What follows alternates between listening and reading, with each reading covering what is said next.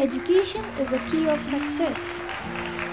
Good morning to respected sir and ma'am. Welcome to Economics Project. Economics is a study of how people choose to use their scarce resources in an attempt to sacrifice their unlimited wants. Presented by Naina Sharma, class 11th 6, subject Arts. My project topic is Effect of price change on substitute goods. Effect of price change on substitute goods. First the question is that what are substitute goods? In economics, two goods are substitute if the product could be used for the same purpose by the consumer. The products are similar or comparative. In simple words, substitute goods are two goods that can be used in place of one another. For example, Domino's and Pizza Hut. Some more examples are tea and coffee, Pepsi and Coca-Cola, Mother Dairy and Amul, and etc. Now let us take price from our real life to understand our topic more better. Tea cup is for 10 rupees and coffee cup is for 15 rupees. As the cost of coffee increases, demand for tea also increases. There is a positive relationship. Another example of Domino's and versus Pizza Hut. Domino's pizza price is 100 and Pizza Hut price is also 100. But if Domino's prices increases to 150, then the demand of Pizza Hut increases. We can see the pie chart right down here.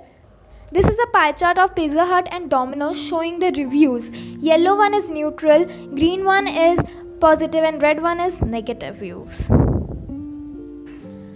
So from this pie chart we can conclude a thing also that Domino's is in demand but in also in high prices because Domino's is more good and in demand still on high prices people may choose Domino's due to its taste and quantity and trust. Because it's also branded maybe people choose sometime brand either than searching for substitutes for that brand sometimes from a product we have a fixed expectation fixed taste and fixed trust. So we used to use that product even on high prices. From the pie chart we can also conclude a thing that there are many goods which we take even on high prices because of trust taste quality quantity guarantee etc no matter how many substitute that product have. For example colgate and tata tea if someone like tata tea no matter how many other tea making companies are there whatever the price of tea of other company even on high prices people buy tata tea because of taste trust and quality. If someone like a product they buy it even on high prices no matter how many substitute that product have.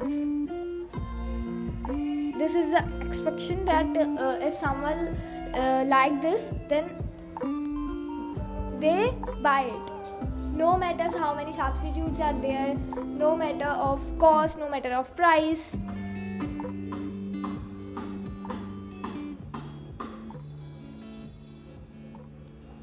Thank you for watching. I hope you understand my concept